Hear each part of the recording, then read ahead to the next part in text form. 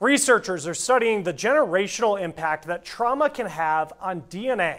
Evidence from a study suggests that trauma can be passed down whether someone endured it firsthand or not. As Jessica Larche shows us, some psychiatrists say the descendants of slaves feel the weight of the horrors their ancestors endured. Seven year old Wynta-Amor Rogers' passion during a recent protest in New York struck a chord across the country. So that little girl learned that from history. She learned that from her parents. And that's even like why it's so important for us to continue to tell the stories. Nationally renowned psychiatrist Dr. Dion Metzger says the unrest we see today is 401 years in the making. And in the point of slavery, to the point of, you know, whippings and, and, and killing and lynchings, even, you know, in generations after that.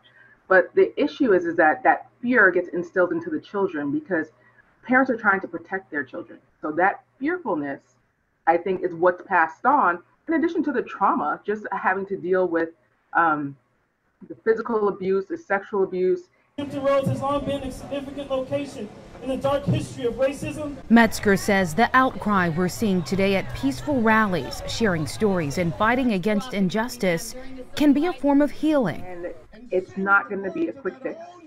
Us telling our stories is one big part of it. I'm a psychiatrist. You know, I'm going to say therapy. It's like at this point, with all the images that we're seeing, all of the um, the videos, it's a lot. And a lot of people think in order for you to suffer from PTSD, you have to be a victim. So you would have to have been one of those people like George Floyd or Breonna Taylor. No, you can still have the same traumatic impact just from watching the video. And sometimes it's even greater if you identify with the person. Is it possible that as Black people, we are experiencing a, a PTSD from what they went through 401 years ago?